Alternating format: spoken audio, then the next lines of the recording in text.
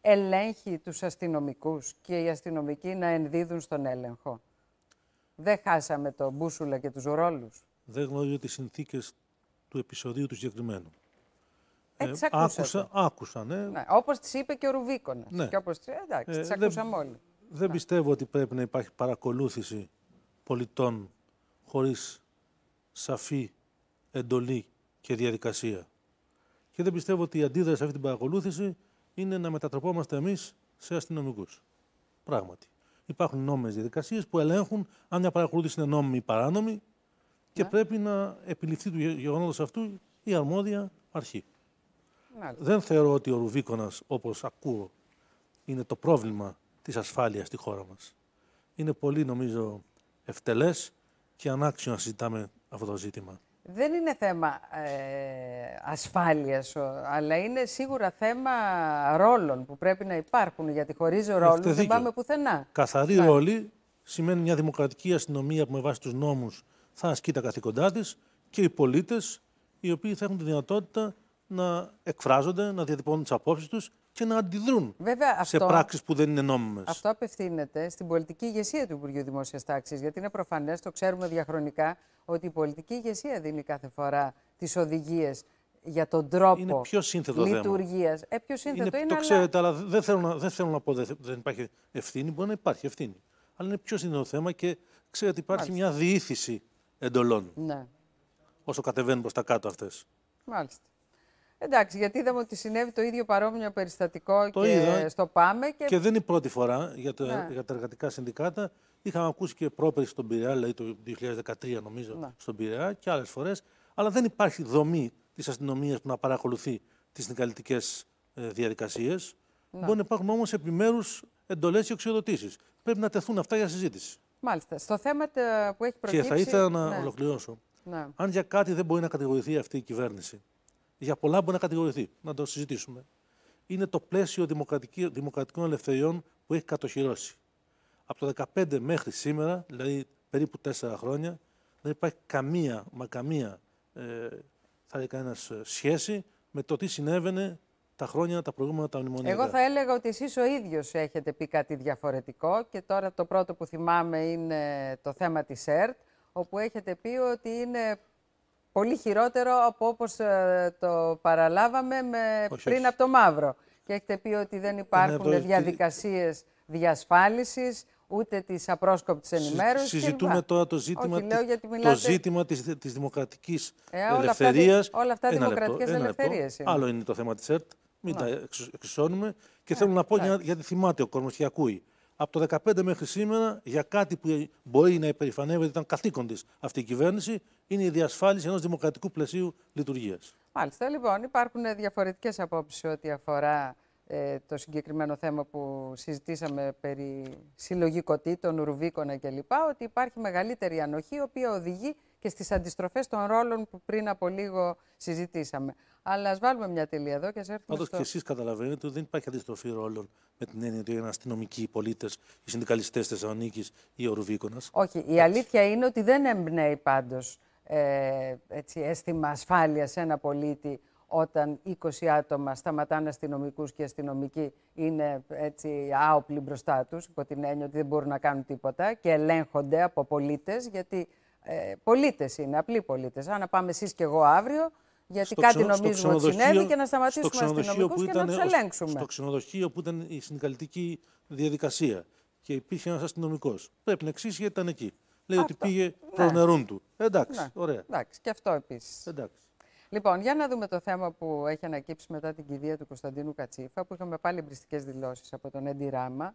Ε, πολύ εμπριστικές, θα έλεγα. Δηλαδή, υβριστικέ είναι. Ε, τι συμβαίνει εκεί πέρα; 52 Έλληνες πολίτες που δεν ξέρουμε, δεν μας έχουν πει ποιοι είναι αυτοί, ε, τους απαγορεύτηκε η είσοδος στη χώρα. Εσείς τι πιστεύετε ότι συμβαίνει και ποια πρέπει να είναι η αντίδραση της ελληνικής κυβέρνησης, γιατί μέχρι στιγμής δεν υπάρχει αντίδραση από την πλευρά της ελληνικής κυβέρνησης; Η ελληνική κυβέρνηση έχει μια σταθερή γραμμή που είναι η προσπάθεια να ε, οικοδομηθούν ελληνοαλβανικές σχέσεις στη βάση του διεθνούς δικαίου και με αμοιβαία ωφέλεια και έχει πετύχει, όπως ξέρετε, το θέμα της ε, ζώνης στο Ιόνιο να διασφαλιστεί, να συνεννοηθούμε και με την Αλβανία.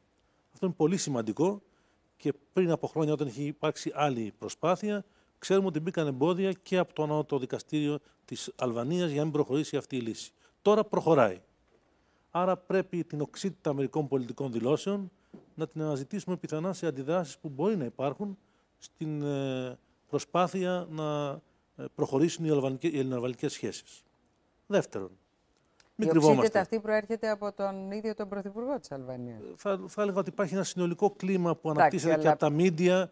Ναι, Εντάξει, αλλά πυροδοτεί. Και, κυρίως, όταν ο ίδιος ο Πρωθυπουργός κάνει μια τέτοια δήλωση, είναι δεδομένο ότι η πυροδότηση θα είναι τεράστια. Και κυρίως ο εθνικισμός σε μια χώρα συχνά ναι. παρασύρει και τις ηγεσίες. Εσείς πιστεύετε Αυτό δεν αφορά μόνο την Αλβανία. Ναι. Αφορά παντού, σε κάθε χώρα. Εσείς πιστεύετε ότι στο συγκεκριμένο θέμα η ελληνική κυβέρνηση δεν πρέπει να έχει καμία τοποθέτηση, δηλαδή, γιατί μέχρι στιγμής δεν είδαμε. Έχει τοποθέτηση με πράξη και με λόγια. Όχι, έχει λέω στείλ... για, το, για, τα περιστατικά που έγιναν προφανώς χθες, θα, προφανώς θα, θα, προσπαθήσει να, και ήδη νομίζω υπάρχει διαδικασία, να μάθει τι ακριβώς έχει γίνει. Μάλιστα. Είδατε εσείς στα, δελ, στα δελτία εικόνες από την κηδεία του τραγικού αυτού νέου. Ε, ναι, εγώ είδαμε, εγώ τις είδα. είδα. Είδαμε εικόνες, και ναι. ήταν μια μεγάλη μαζική συμμετοχή. Αυτοί όλοι οι άνθρωποι που πήγαν εκεί για να τιμήσουν τον ναι. συμπατριώτη τους. Ε, δεν έχουν καμιά σχέση βεβαίως με φωνές που ακούστηκαν και οι οποίες δημιουργούν πρόβλημα. Ε, ναι, η μιλάτε για λέει, μεμονωμένα περιστατικά. Μεμονωμένα, τα οποία ναι. όμως είχαν ισχυρή δυστυχώς φωνή. Ναι. Όπως για παράδειγμα, η Βόρειος Ήπειρος είναι ελληνική, θα επιστρέψουμε και θα τρέμει η γη. Αυτό παραπέμπει εσείς σε πιστεύετε ότι προέρχονται από πολύ συγκεκριμένους κύκλους δηλαδή αυτά; Θύλακες, βεβαίως. υπάρχει, υπάρχει βορειοπηρωτικός αλυτρωτισμός κατ' επάγγελμα. Και διάφοροι κύριοι που παρελάβουν και στα κανάλια και από εδώ και από εκεί δεν είναι περιπτώσεις. Αναφέρεστε και στο Όχι, όχι, μιλάω γενικά. Μιλάω Γιατί αυτός προσήχθη χτε. Μιλάω γενικά και δεν θέλω να κάνω καμία προσωπική αναφορά όταν μάλιστα λείπουν αυτοί όλοι οι άνθρωποι. Επαναλαμβάνω. Έχουμε κατ' επάγγελμα βορειοπηρωτικό αλυτρωτισμό. Και εδώ πρέπει να είμαστε σαφείς. Η ελληνική κυβέρνηση, ναι. η χώρα μας, δεν θέτει θέμα αλλαγής των συνόρων, θέτει θέμα προστασίας των δικαιωμάτων της ελληνικής μειονότητας, όσοι έχει απομείνει δυστυχώς στα εδάφη της Νότιας Αλβανίας. Διότι αυτή είναι η Βόρειο Ήπειρος, η Νότια Αλβανία. Μάλιστα. Λοιπόν, αυτό είναι σαφές που λέτε. Ε, πάμε τώρα να δούμε τι γίνεται με το σύμφωνο, προσύμφωνο. Ε, πρόθεση, γιατί ακούστηκαν πολλές λέξεις ε, γύρω από τις ανακοινώσεις που έκαναν Ό,τι μας φωτίσει ο, Θεός. ο Πρωθυπουργός και ο Αρχιεπίσκοπος. Ε, αυτή η πρόθεση, σύμφωνα με ορισμένους ιεράρχες, είναι απλή πρόθεση, ε, είναι σε απολύτως λάθος βάση, όπως λένε. Γιατί δεν διασφαλίζονται, υπάρχουν πάρα πολλές γκρίζες ζώνες, ανησυχούν πάρα πολύ για το τι θα γίνει με τους ε, κληρικούς, με τις, ε, το καθεστώς, το μισθολογικό τους, το συνταξιοδοτικό τους κλπ. Πεςτε μου τη γνώμη σας, εσείς τι πιστεύετε ότι είναι αυτή η συμφωνία προς σύμφωνο, Κα... ότι οπωσδήποτε... Καταρχήν υπάρχει ένα θετικό στοιχείο, να. ότι είναι παγωμένο θέμα το ανακοινεί η κυβέρνηση σε συνεννόηση με την Εκκλησία. Γιατί; γιατί; Διότι είναι ένα θέμα το οποίο υφίσταται, το ζήτημα των σχέσεων Εκκλησίας και κράτους, υφίσταται ως κοινωνικό αίτημα, ναι. Όλο το σπρώχναν οι κυβερνήσεις και μερικές όταν προσπάθησαν να, να θέσουν τέτοια ζητήματα, κάνανε γρήγορα πίσω. Θυμάστε, τρίτσε κλπ. Η δική μας λοιπόν κυβέρνηση θέτει το ζήτημα αυτό και με τη συνταγματική αναθεώρηση, όχι τολμηρά όσο θα ήθελα, αλλά το ανοίγει όμως το ζήτημα αυτό και με το προσύμφωνο στο οποίο αναφερθήκατε. Εσύ όμως, εσείς όμως είπατε ήδη ότι στην πράξη δεν αλλάζει τίποτα. Αφού η μισθοδοσία των κληρικών θα, θα συνεχίσει να επιδοτείται από το κράτος. Θα σας απαντήσω. Να. Το κρίσιμο θέμα, κατά τη γνώμη μου, αυτού του προσυμφώνου είναι ότι δεν στηρίζεται σε μια μελέτη τι χρωστάει και τι δεν χρωστάει το κράτος ή η Εκκλησία ο ένας τον άλλον. Να. Αντιθέτως υπάρχει μια δέσμευση της ελληνικής, της, του κράτους, της ελληνικής πλευράς, της ελληνικής κυβέρνησης, ότι θα πληρώνει την Εκκλησία ε, για τη μισθοδοσία ΕΣΑΗ. Πρέπει να την πληρώνει. Βεβαίως και πρέπει. Έχουν δικαίωμα οι Έλληνες πολίτες στα θρησκευτικά τους, λατρευτικά τους καθήκοντα και πρέπει η πολιτεία να εξασφαλίζει και τους ιερείς όλων των επίσημων θρησκειών. Λέτε δηλαδή ότι αυτά τα 212 εκατομμύρια, αν ναι. δεν κάνω λάθος, ότι δεν ξέρετε καταρχήν... Δεν ε... ισχύει αυτό που υπόθηκε ότι τα χρωστάει το κράτος να τα δίνει εσαΐ. Δεν υπάρχει αυτό Οπότε σωστά ανησυχούν οι κληρικοί που λένε δεν ξέρουμε Όχι. αν θα μπορούμε να επιβιώσουμε. Όχι, όχι. Η δέσμευση στο προσύμφωνο είναι ότι θα τα δίνει πάντοτε τα λεφτά αυτά το ελληνικό κράτος. Και ρωτώ. Ναι. Τόσα περισσότερα ή λιγότερα. Θα αποφασίσει τι θα κάνει. δεν τα δίνει, αφού δεν θα Από τον προπολογισμό του κράτους. Το ερώτημα, επαναλαμβάνω, Πάλι είναι από τον προπολογισμό. επί τη βάση ποια. Τότε γιατί να αλλάξει το καθεστώς, αφού στον προπολογισμό είναι έτσι κι αλλιώς. Να πάμε σε ένα θέμα που είναι σημαντικό. Ναι. Γιατί δεσμεύεται το ελληνικό κράτος ότι θα δώσει αυτά τα χρήματα, ΕΣΑΗ θα τα δίδει, επειδή τα χρωστάει, λέει στην Εκκλησία. Δεν τα χρωστάει. Αν τα χρωστάει, να δούμε πώς τα χρωστάει. Αυλεπή, δεν δίνουμε χρήματα ως ελληνικό κράτος. Χρειάζεται μια μελέτη λοιπόν. Ναι. Δεύτερον, πρέπει να μισθοδοτείται ε, ο κλήρος να δίνονται χρήματα στην Εκκλησία για τη μισθοδοσία. Ναι, βεβαίως. Και στην Ορθόδοξη Εκκλησία και σε άλλες. Υπάρχουν στην Ελλάδα. Αναλογικά. Το πόσο είναι θέμα συνεννόησης. Καμία αντίρρηση. Τρίτον, υπάρχει ιστορία της, ε, του κοινού ταμείου, της εταιρείας που θα μπει μέσα... Αυτή που θα ιδρυθεί, ναι. Που θα ιδρυθεί. Εκεί θα εισφέρει η Εκκλησία την, ε, την περιουσία που δεν της ανήκει. Τα ναι. διακατεχόμενα, τα αμφισβητούμενα. Ναι. Και θα παίρνει 50% επί του κέρδους. Και λίγο πριν να ισχύσει το κτηματολόγιο. Ακριβώς. Ναι. Και λίγο πριν τελειώσει, θέλει δύο χρόνια, τρία, μια διαδικασία... Οπότε γιατί γιατί λέτε ότι έγινε σε αυτό το timing αυτή τη στιγμή αυτή η συμφωνία; Γιατί κάποιοι θα σας πούνε εντάξει, είναι προεκλογικός ο χρόνος, έγινε για λόγους ε, προεκλογικών εντυπώσεων σε ένα αριστερό ακροατήριο το οποίο ήθελε να δει θεσμικά να προχωράει κάτι το οποίο όμως όπως είπατε κι εσείς είναι σαν να μην έχει δεν, γίνει. Δεν υπάρχει όμως μια συμφωνία ακόμα. Είναι η αρχή. Να. Και είναι λογικό ότι ξεκινάει αυτή η συζήτηση. Μάλιστα, ο δημόσιος διάλογος να. να δούμε πού θα καταλήξει. Μάλιστα. Ακούω αντιδράσεις και ναι. ακούω και του, και, του, και του λαϊκού κλήρου αντιδράσεις. Τις κατανοώ. Δεν πιστεύω πρέπει να έχει μια κινδυνολογία. Βεβαίως το να μην είναι δημόσιος υπάλληλος σημαίνει ότι δεν έχει δικαιώματα ο απλός παπάς. Ναι. Πρέπει όμως να τον προστατεύσουμε από τη δεσποτοκρατία.